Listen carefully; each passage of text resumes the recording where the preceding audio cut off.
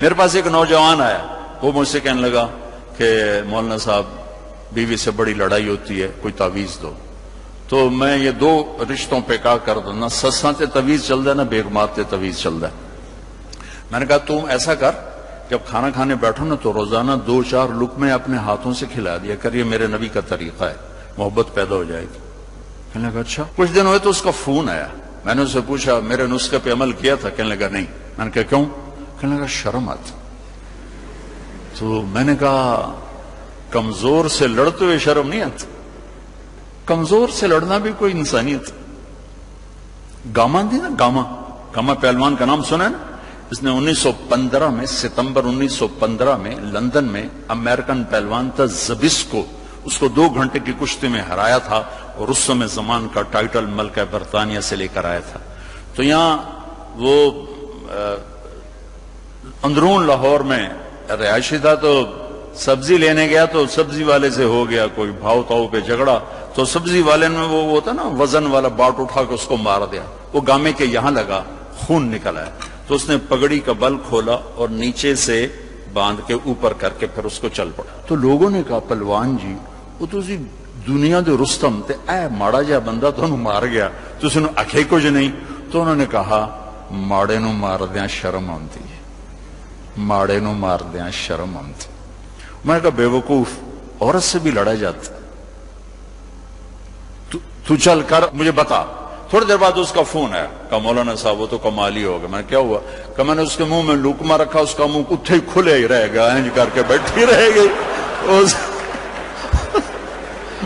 وہ آخر لگی اے تیرا کام نہیں تین دس تین آخیا کہ تو آپ نہیں کر سکنا اس آ گیا میں آ گیا، میں تو مولی تارے جمیل آ گیا۔ اس آ گیا دے بچیاں دا اللہ بھلا کرے جی، جائے تینوں بندہ بنایا۔ ہمارے راجپوتوں میں ایک شاخ ہوتی ہے رنگڑ، بڑے کوڑے ہوں دن مطلب ہماری برادری تو اس کا ایک ذمہ دار ہمارے ساتھ چلتا تھا۔ ہم جماعت میں کٹھے چلتے تھے۔ تو میرا یہ مستقل مضمون ہے، میں بیان کرتا ہوں میرے نبی کے اخلاق، نبی کی زندگی۔ چونکہ یہ عام طور پہ بیان نہیں ہوتی، میں اسے کھول کے بیان کرتا ہوں کہ ان سب کے گھر بننے والے یا بن چکے یا بننے والے گھر پیسے سے نہیں چلتا، میرے رب کی قسم گھر نبی کے اخلاق سے چلتا ہے۔ نبی کی برداشت سے چلتا ہے، چاہے دفتر ہو، چاہے وہ وی سی کی کرسی ہو، چاہے وہ گھر کی چیئر ہو۔ جہاں اخلاق ہوں گے وہاں نظام چلے گا، جہاں ڈانٹ ڈپٹ ہوگی، روک ٹوک ہوگی اور بیزتی ہوگی، وہاں نظام ٹوٹ جائے گا۔ دل ٹوٹ جائے تو سارا نظام ٹوٹ جاتا۔ تو میں نے ان کے گھر فون کیا، ان کی بیگم نے اٹھایا، وہ تھے نہیں۔ میں نے کہا، بتا دینا، میں نے فون کیا تھا۔ تو جب وہ آئے نا تو کہنے لگے، مولانا صاحب، بڑا لطیفہ ہوا۔ میں نے کہا، کیا ہوا؟ کہ میں گھر آیا تو میری بیگم نے کہا، تھارے مولوی کا فون آیا تھا۔ میں نے کہا، کون سا؟ کہ وہی جس نے تمہیں رنگڑ سے انسان بنا دیا۔ تو میں نے اس سے کہا، اللہ کی بندی، میں پہلے انسان نہیں کہا بالکل نہیں۔ کہا کیوں؟ کہا بتا ہماری شادی کو کتنے سال ہوئے؟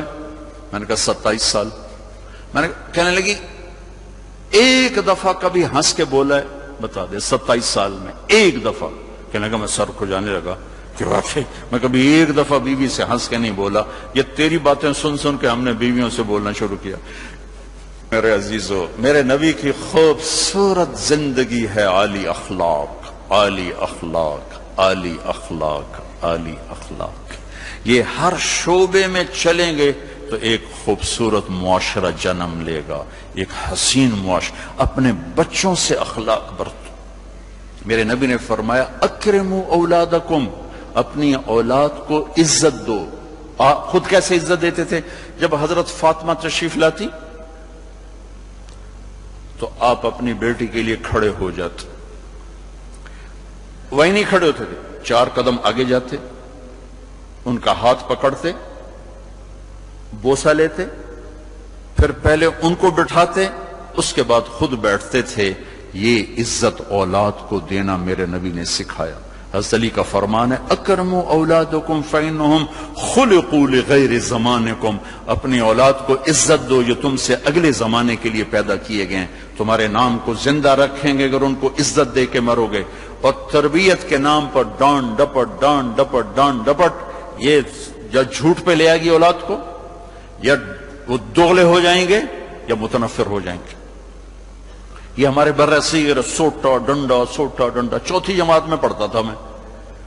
اور دسمبر کا مہینہ ماسٹر محمد شفیع مرحوم بڑے نیک استاد، بڑے مخلص، لیکن مار مار تباہی کر دیں دیا انہوں نے سوال لکھایا اچھا ہمیں کو بیس لڑکے بیٹھے، میں پندرہ نمبر پہ بیٹھا تھا۔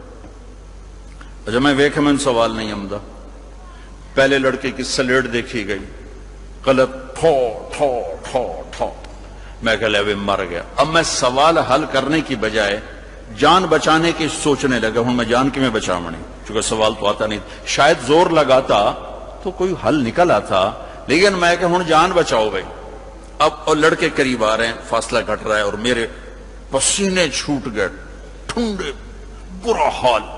کہ یا اللہ اتنے سوٹے میں کمی کھامنے اچھا ایک ثقافت پرائمری سکول ہمارے والد علاقے کے ذمہ دار استادوں کو گندم دینا، چاول، گھی، مکھن، شکر، آم، کنو، مالٹے، امرود، جو کچھ ہمارے پاس ہوتا تھا، ہمارے والدین، یہ رشوت نہیں ہوتی تھی، یہ اپنی سعادت سمجھ کے استادوں کی خدمت کرتے تھے۔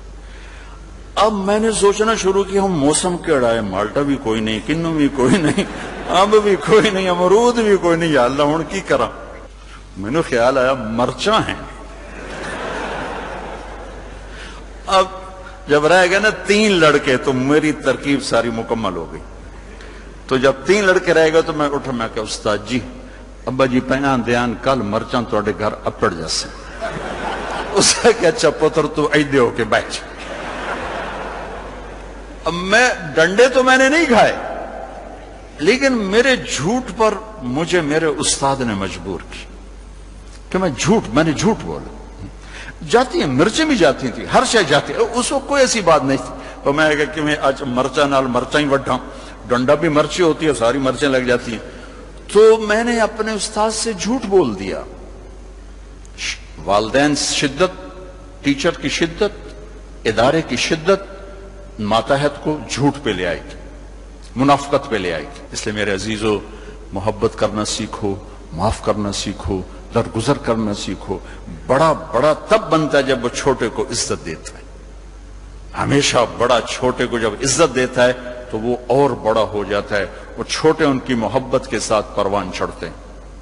اور جب ڈانڈ ڈبل ہوتی ہے، ٹوک، میرے نبی نے زندگی بھر کسی کو موقع پہ نہیں ٹوکا۔ ایک آدمی نے مسجد میں پیشاب شروع کر دیا۔ تو صحابہ اٹھے، آپ نے کہا پچھڑ جا پچھڑ جاؤ مسجد میں پیشاب ہو رہا جب وہ پیشاب سے فارغ ہو گیا، آپ نے کہا، پانی بہا دو۔ پھر اسے بلایا، کہا، بیٹا، مسجد پاک جگہ ہے، پیشاب نہیں کیا جاتا۔